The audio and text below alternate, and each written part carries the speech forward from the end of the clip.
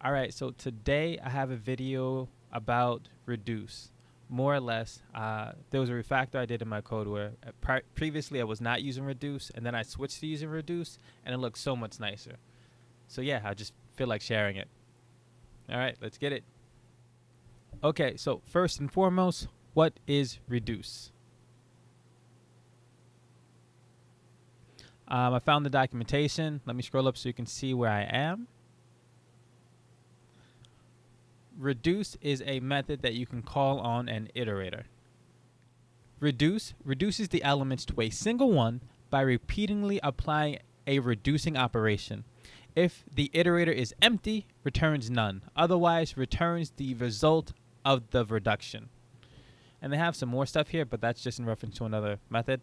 Um, so here's reduce as a signature, right? We have the reduce, self, f, this is just a generic, and it turn, returns an option, self, item, and self being the iterator. Cool?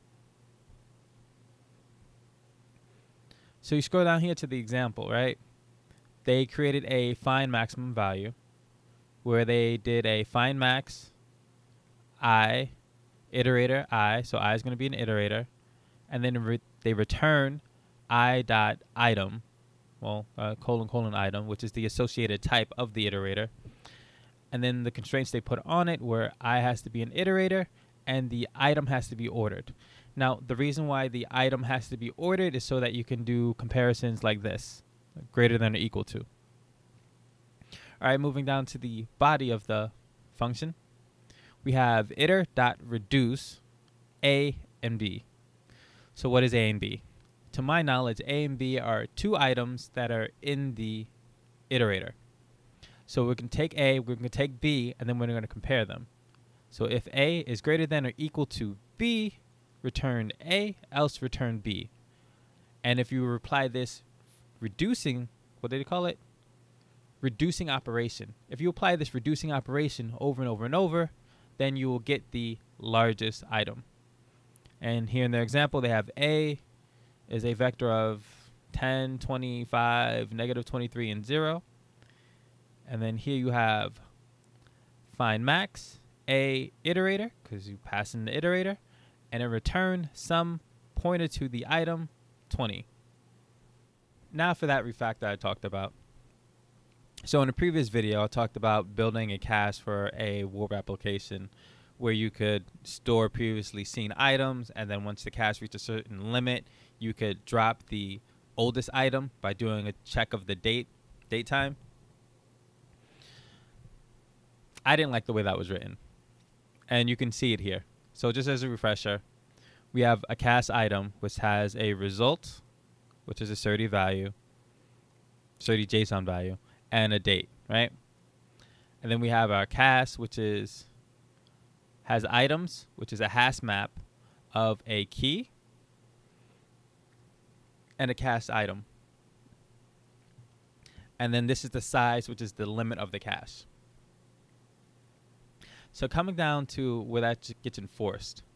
So theoretically, if we add an item to the cache and that new item brings us above the limit or over the limit that we're allowed to have based on our size, then we need to enforce the size limit. And that's coming down here. So this is may not be exactly what I originally wrote. It might be because I can't remember what I wrote in the video. But this is a version of it where here I check to see if the the length of the items is greater than the size, and if so, I need to force the size limit. So here I started initializing values for the result key and result value. Initialize them to none.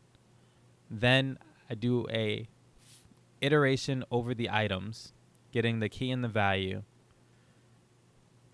Then I'm doing an if check saying if the value dot clone is none or if the result value unwrap date is greater than value date because value is the one we're iterating over and these are the ones we just stored as temporary values.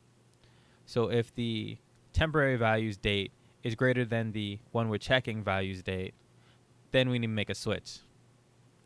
Then we store the result key, as in this is going to be the current key.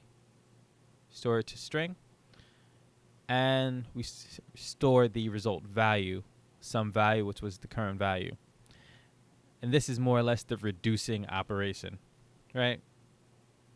And then after that, I check to see if there was a key. If there is a key, then I was able to do a remove. Remove based on the key. And then in the return value, I recreated a, uh, well, I instantiated a cache return, which is a different object altogether, but just as the return. More or less, this is what I wanted to refactor. Here's what it looks like when you use reduce.